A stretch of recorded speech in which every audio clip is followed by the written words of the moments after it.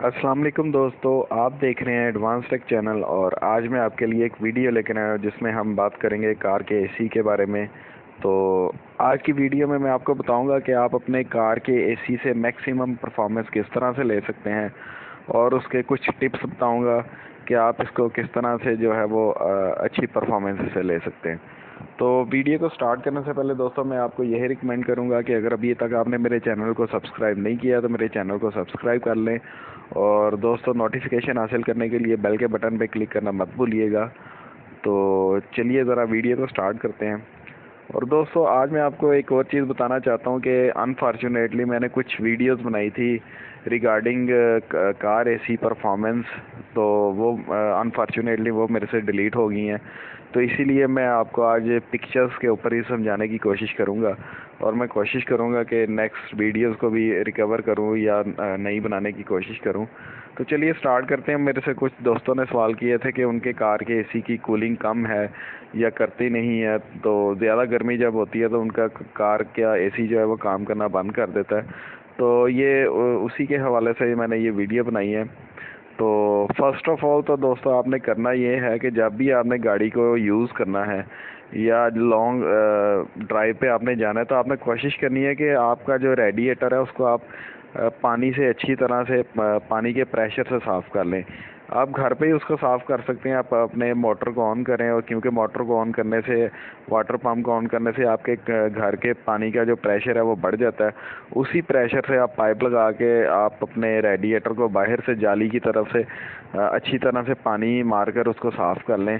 اس سے یہ ہوگا کہ دوستو، اگر اس کی جالی کوئی، چوک ہوئی ہوگی تو وہ ڈسٹ وغیرہ نکل جائے گی۔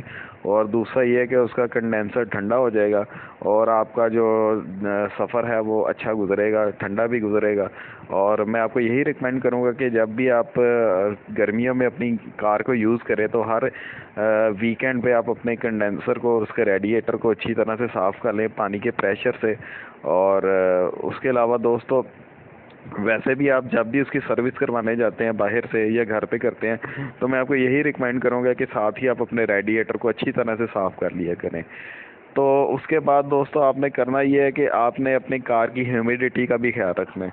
کیونکہ پاکستان میں اکثر یہ ہوتا ہے کہ دوستو اگر کار میں فور سیٹس ہیں تو ہم اس کے اوپر اوور لوڈنگ کرتے ہیں۔ پانچ کی بجائے چھ بندے بھی اٹھا لیتے ہیں۔ اس سے دوستو فرسٹ آف آل تو یہ ہوگا کہ آپ کی گاڑی کے اوپر جو ہے نا وہ اوور لوڈ کا پرابلم آئے گا۔ دوسری بات، یہ اوور لوڈ ہونے کی وجہ سے آپ کے انجن کی پاور بھی زیادہ لگے گی۔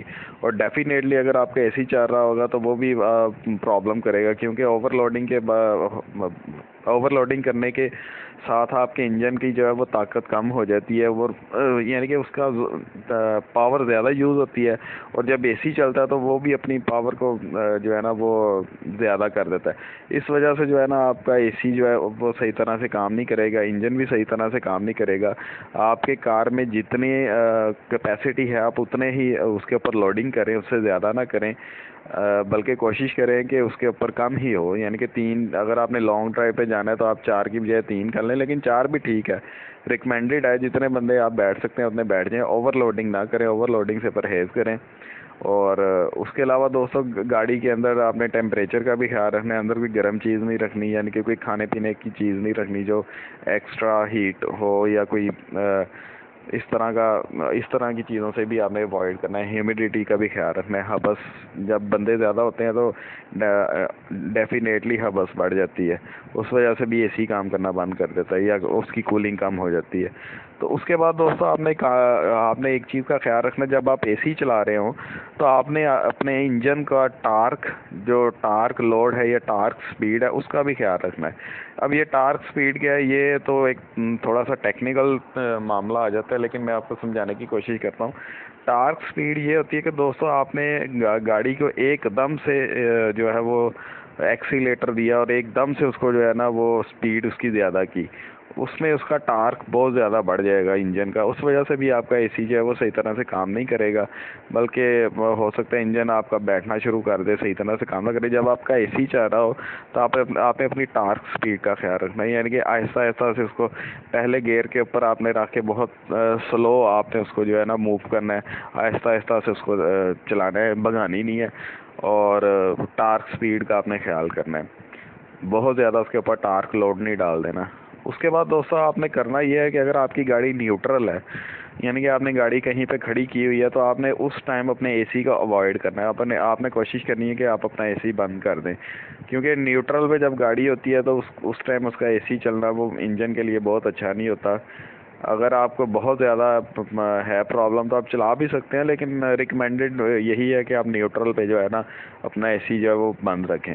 اس کے علاوہ دوستو جب آپ کا اے سی چاہ رہا ہو تو آپ نے کوشش کرنی ہے کہ maximum eighty kilometre per hour کی اسپیڈ پہ ڈرائیو کریں، اس سے زیادہ نہ کریں اور فورٹی ٹوینٹی ٹو فورٹی سے کم نہ کریں۔ کیونکہ جب آپ کم اسپیڈ پہ کریں گے تو تب بھی آپ کا جو ہے نا وہ اے سی صحیح طرح سے کام نہیں کرے گا۔ ٹوینٹی کے بعد تو آپ کو پتہ ہے نیوٹرل پہ ہی آتی ہے گاڑی۔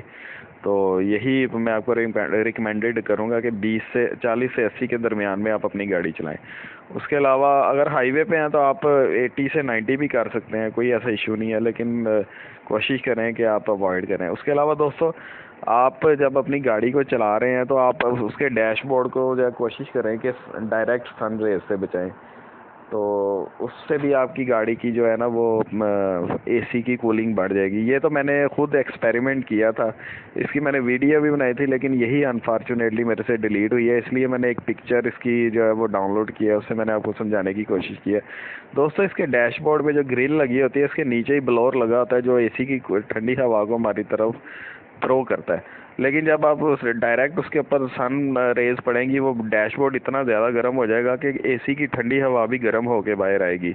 تو یہ سب سے زیادہ مین پوائنٹ یہی ہے کہ آپ نے اپنے ڈیش بورڈ کو کسی نہ کسی طریقے سے طریقے سے آپ نے اس کو جو ہے نا وہ ڈائریکٹ سن ریز سے بچانا ہے، اس کو کسی نہ کسی طریقے سے اس کو شیڈ بنا لیں اس کے اوپر۔ اگر آپ کے پاس اس طرح کا کور نہیں ہے تو آپ گھر سے کوئی کپڑا لے کے وہ بھی اس کے اوپر ڈال سکتے ہیں۔ ایون اگر آپ کے پاس کوئی والٹ وغیرہ ہے تو وہ بھی آپ اس گریل کے اوپر رکھ سکتے ہیں۔ اس سے بھی آپ خود جج کریں گے کہ ججمنٹ کریں گے کہ بہت زیادہ فرق پڑتا ہے کولنگ میں۔ ایون یہ پریکٹیکل میں نے خود کیا اس سے بہت زیادہ فرق پڑتا ہے، تو میں آپ کو یہی ریکمینڈ کروں گا کہ آپ یہ کام کر لیں۔ اس کے علاوہ دوستو یہ بھی اسی کی ایک ایگزامپل ہے، اس اس کی پکچر ہے ڈیش بورڈ کو انہوں نے کور کیا۔ اور ایک بات میں آپ کو بتا دوں، آپ کوشش کریں کہ لیدر کا، کپڑے کا کوئی ہو پیس جس سے آپ اس کو کور کریں۔ کیونکہ وہ کوئی اس طرح کی چیز ہو جو اس کو نیچے سے ڈیش بورڈ کو اگر اس کے اوپر بھی ریز پڑے تو نیچے ڈیش بورڈ کو گرم ہونے سے بچائے۔ یہ بھی اسی کی ایک ایگزامپل ہے۔ اور دوستو، آپ نے ایک اور بات کا خیال رکھنا کہ کوشش کریں کہ آپ اپنے ریڈیٹر کے فین کو ڈائریکٹ کروا لیں۔ تو گرمیوں میں یہ آپ اس کو ڈائریکٹ کروا لیں۔ کسی بھی الیکٹریشین کے پاس جا کے آپ اس کو کہیں کہ میرے ریڈیٹر کے فین کو ڈائریکٹ کر دیں تو وہ کر دیں گے۔ ادروائز میں اس کی بھی ایک ویڈیو بناؤں گا، اس کو بھی میں شیئر کرنے کی کوشش کروں گا۔ یہ بھی میں نے بنائی ہوئی تھی، لیکن یہ بھی ٹیکنیکلی پرابلم کی وجہ سے ریموو ہو گئی ہے ڈیلیٹ ہو گئی ہے میرے سے۔ آپ اپنے فین کو بھی ڈائریکٹ کر لیں۔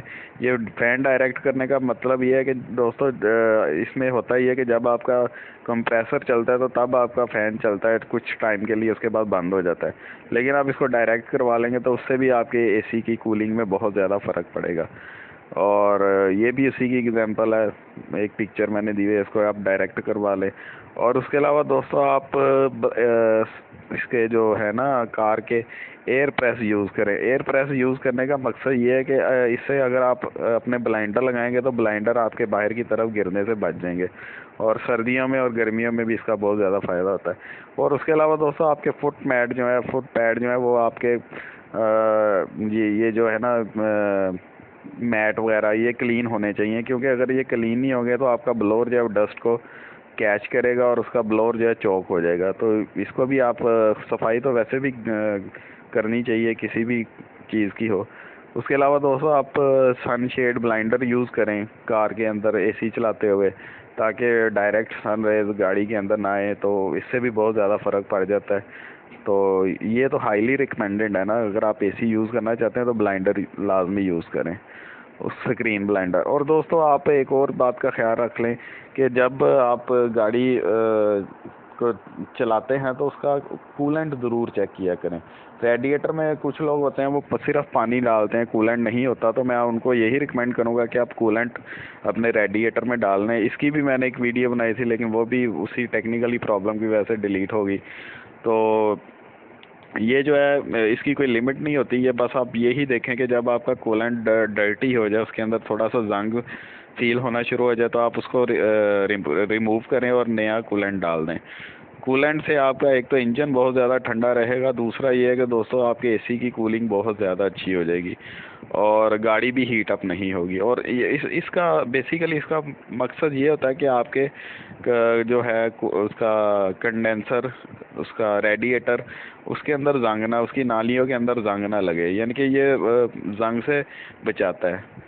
تو اینٹی رسٹ ہوتا ہے یہ، تو یہ بھی بہت ہی کمال کی چیز ہے۔ یہ آپ ریگولرلی یوز کریں یہ ویسے اتنی جلدی ڈرٹی نہیں ہوتا، لیکن جب ڈرٹی ہو جائے تو آپ اس کو چینج کر دیں ریپلیس کر دیا کریں۔ اس کے علاوہ دوستو، اس کے اندر ایک بوتل ہوتی ہے، پانی کی پانی کی بوتل جہاں سے ریڈیٹر پانی جو ہے وہ سگ کرتا ہے۔ وہ اس کو بھی آپ ریفل کر لیں اس سے کولنٹ سے۔ تو دوستو، یہ کچھ ٹپس تھے۔ امید کرتا ہوں یہ آپ کو پسند آئے ہوں گے۔ اور اگر یہ سارے آپ ٹپس یوز کریں گے تو ان شاء اللہ تعالیٰ آپ کی گاڑی کا ایسی جو وہ پرفارمنس اچھی کرے گا۔